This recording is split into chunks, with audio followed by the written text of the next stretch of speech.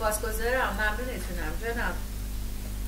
من خیلی خوشحال هستم که با خانم دکتر با شخصیت و باوقاری مثل شما صحبت می‌کنم. سپاسگزارم. ممنونتونم. جناب. سلامت باشید. خانم دکتر من چند سال است که ازدواج کردم بله. و زندگی نسبتا خوبی هم دارم. بله. اما یه مشکل اساسی تو زندگیم دارم. بله. خانومم همیشه بنده رو متهم می‌کنه تو زندگیم به اینکه بنده یه آدم چش چرونی هستم بله. و این مسئله باعث شده که زندگی ما تبدیل بشه به جهنم. می‌خواستم این سوال از شما بپرسم. مگه در دنیای امروز این مسئله حل نشده؟ چرا باید اینجوری باشه؟ بله. چرا مثلا متهم بشم به این و زندگیمون تبدیل بشه به جهنم؟ ببینید در دنیای امروز حل شده این مسئله. بله. می‌خواستم یه لطف بکنید این مسئله واسه توضیح بدید که صحبت شما استفاده کنیم. تمنا می‌کنم. اجازه بدید من یه سوال از شما بپرسم. چند ساله که ازدواج کردید؟ پنج ساله. بله. همسرتون چند سالشونه؟ همسر من 22 سال بله. شما چند سالتونه؟ من 27 سالم. بله. فرزند دارید؟ یه دونه. بله. خب آیا همسرتون گله دیگه ای از شما غیر از این دارن یا فقط همینه؟ معمولا فقط همینه. ببینید شما وقتی با بالاخره اقوام و آشنا و اینها مثلا صحبت می‌کنیم بله. توقع خانم بنده اینه که من اصلا به کسی نگاه نکنم. یا سرم پایین باشه یا اصلا میگه چرا اینجوری نگاه می‌کنی؟ اصلا من چی فلانی به شما نگاه کرد؟ بله بله. بعد حالا فرض کنید حالا بنده نگاه بکنم بله.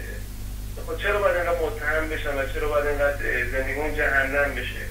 بعدم حرفم اینه خب تو دنیا امروز مشکل حل شده. چرا باید اینجوری اینقدر زندگیمون تبدیل بشه به جهنم؟ بله. همسرتون رو دوست دارید بله.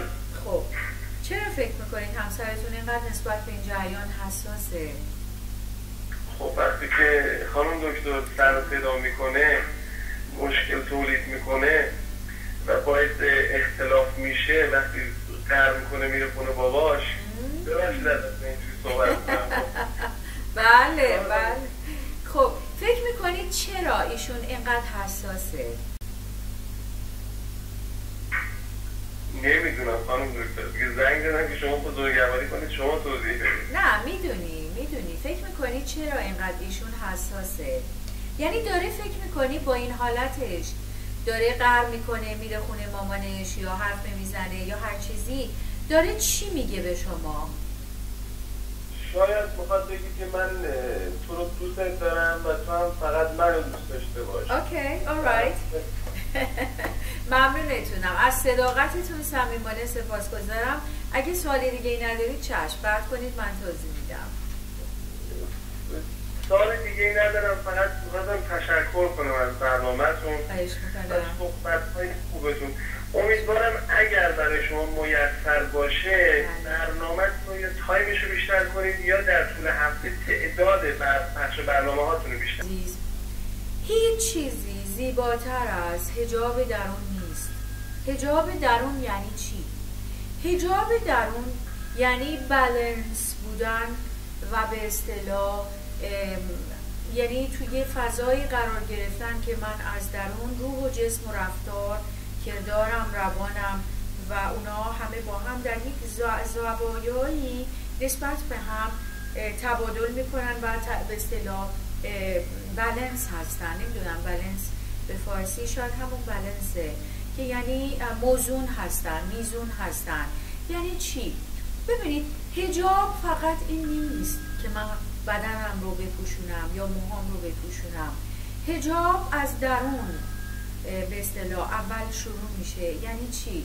یعنی شناختن اون باوندری و اون محدوده و اون حیات خلوتی که به من تعلق داره یا به ایشون تعلق داره کجا من می‌تونم برم جلو و کجا باید بکشم عقب؟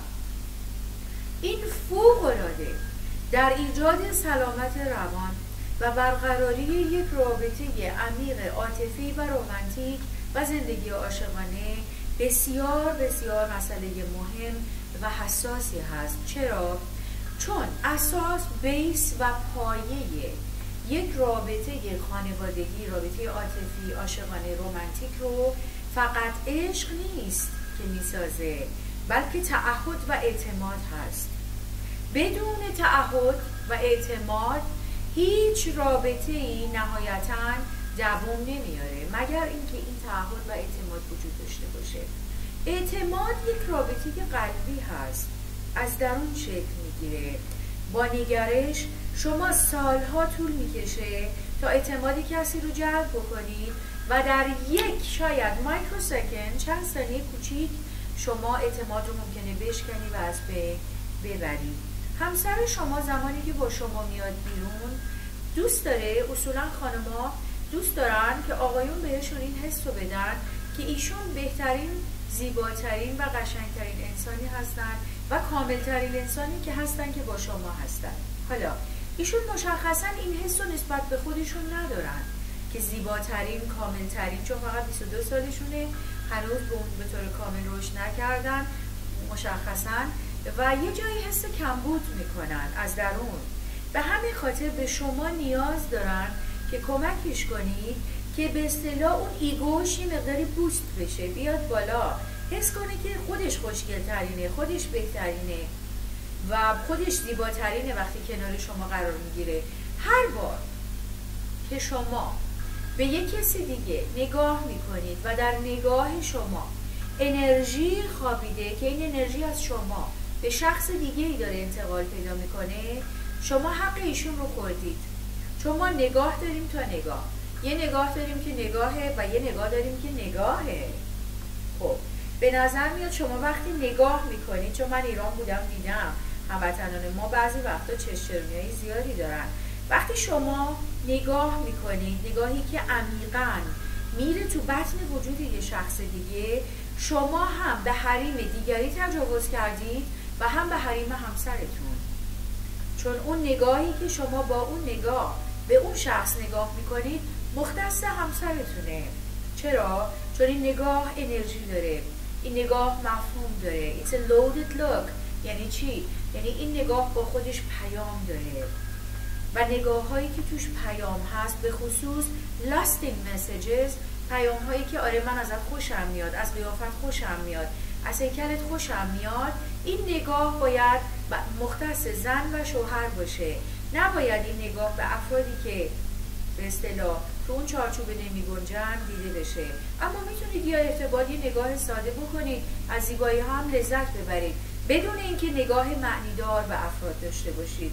همسر شما از انرژی نگاهتون ناراحت میشه نه از خود نگاهتون.